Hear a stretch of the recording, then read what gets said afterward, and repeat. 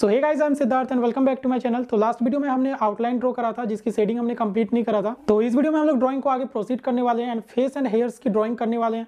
तो वीडियो बहुत ही ज़्यादा यूजफुल होने वाला है तो वीडियो कहीं भी स्किप मत करेगा तो जल्दी से स्टार्ट करते हैं आज की video so let's get start it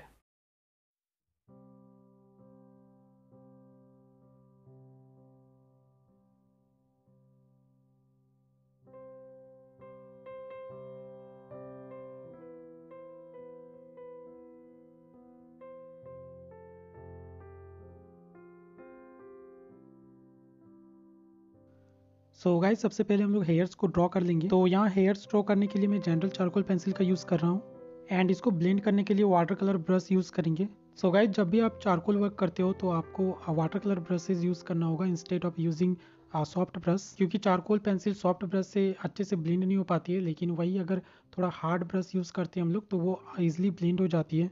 so so, यहाँ मैं हेयर्स कम्प्लीटली चारकोल से ड्रॉ करने वाला हूँ।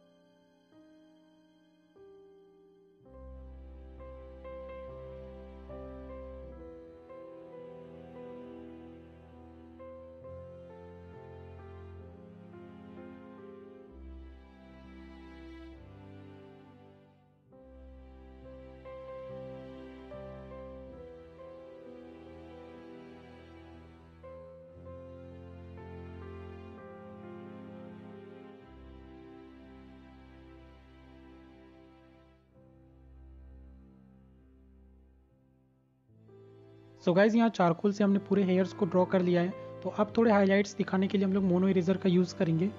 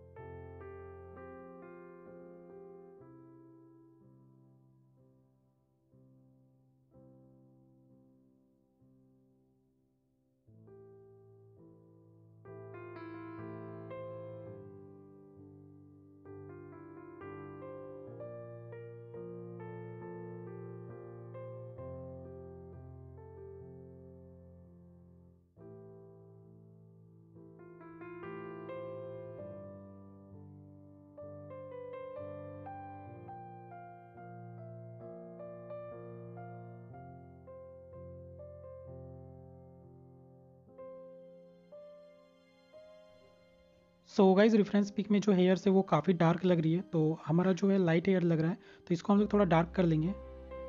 तो हम लोग थोड़ा इसको और डार्क कर लेते हैं।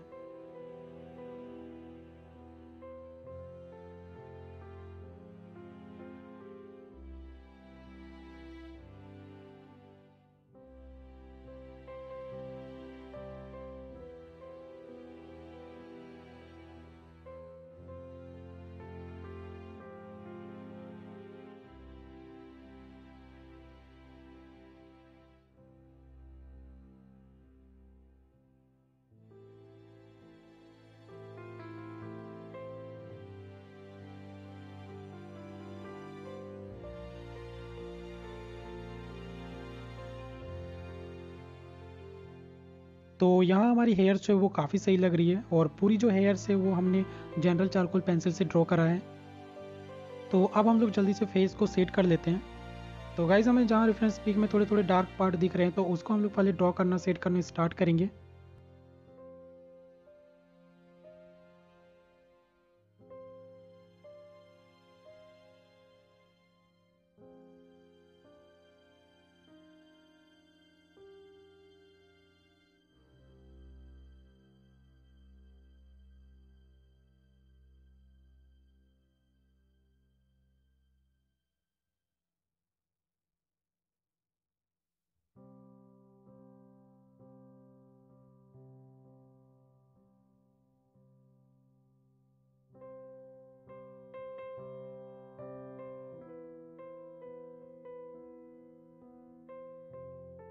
तो यहाँ पर ब्लेंड करने के लिए मैं टिशू पेपर यूज़ कर रहा हूँ और आप पेपर स्टाम्प भी यूज़ कर सकते हो। तो पेपर स्टाम्प नॉर्मली छोटा स्पेस को ब्लेंड करने के लिए होता है और मुझे थोड़ा बड़ा स्पेस में ब्लेंड करना है तो मैं वहाँ पे टिशू पेपर यूज़ करता हूँ। तो आगे ड्राइंग में जहाँ भी मुझे छोटा स्पेस थोड़ा ब्लेंड करना है तो वहाँ मैं पेपर स्टाम्प यूज़ करूँगा।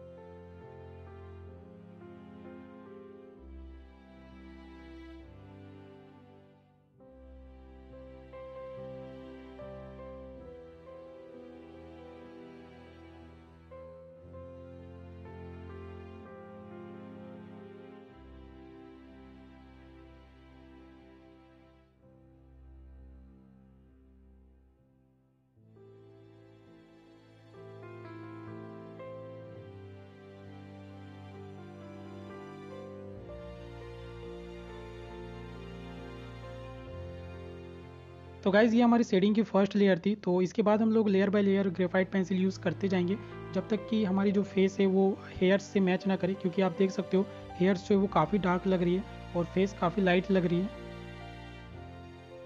तो वीडियो कहीं भी स्किप मत करना गाइज़ क्योंकि अगर आप स्किप कर दोगे तो फिर आगे आपको समझने में थोड़ा प्रॉब्लम हो सकता है। खासकर अगर आप एक बिगिनर हो तो आपको स्किप नहीं करनी चाहिए।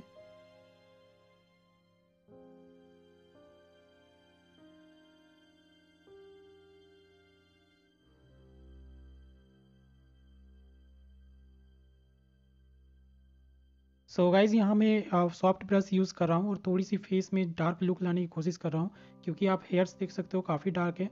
तो उसके कंपेयर हमें थोड़ा सा फेस जो है वो थोड़ा डार्क दिखाना होगा।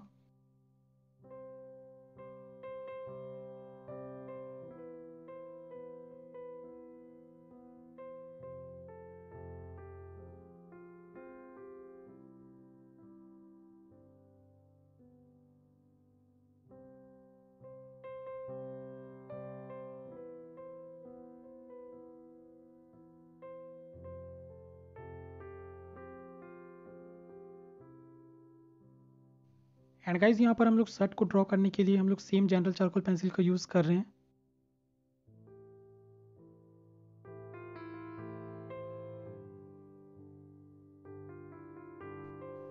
एंड इसके बाद सेम हम लोग वाटर कलर ब्रश से इसको ब्लेंड करेंगे।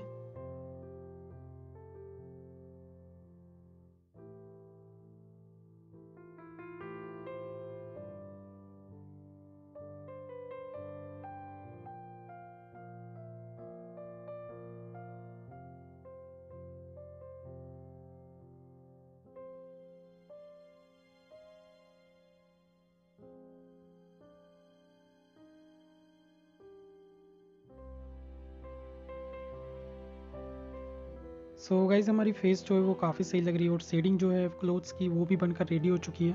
तो अब हम लोग थोड़े बैकग्राउंड में काम करेंगे ताकि फेस जो है वो काफ़ी लाइट लग रही है। तो हम लोग थोड़ा बैकग्राउंड को डार्क दिखा देंगे। तो फेस जो है वो काफ़ी सही लगेगी।